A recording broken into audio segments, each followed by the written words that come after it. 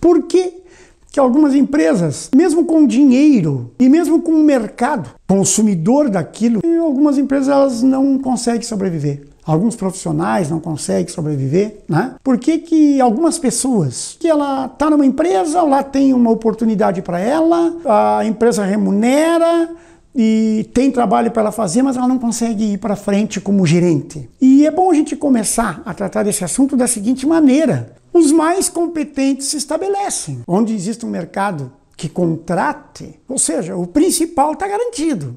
Alguém vai se estabelecer. Quem é que vai se estabelecer? Os mais competentes, as empresas mais competentes. Tá certo? Então, esse é o princípio desta conversa. Tem mercado. Alguém vai produzir para os irmãos de caminhada no planeta Terra. E às vezes eu fico passando trabalho. É óbvio, é óbvio que isso é uma limitação de liderança e de gestão. E não tem conversa, não tem como olhar para lá, para cá, colocar a culpa ali, aqui, porque se alguém se estabelece e eu não, se eu estou com dificuldade, é porque eu tenho deficiências de liderança ou de gestão, tá certo? Só não cabe isso aqui quando não existe mercado para ninguém. Aí sim não cabe este raciocínio.